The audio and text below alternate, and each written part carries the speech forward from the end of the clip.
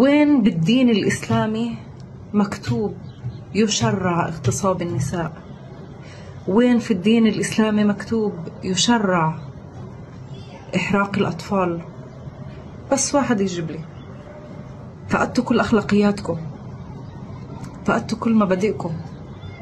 باسم الدين ولكو الله والدين لعينكم.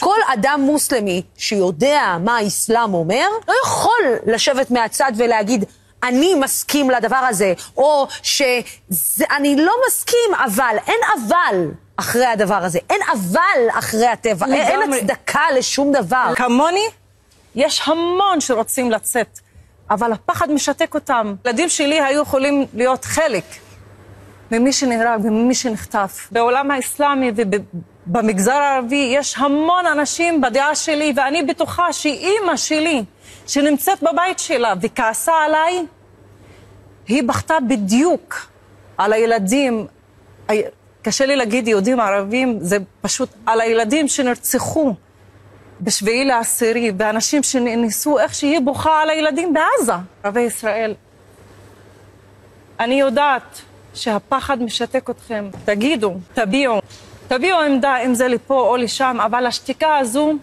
היא לא, היא לא נכונה.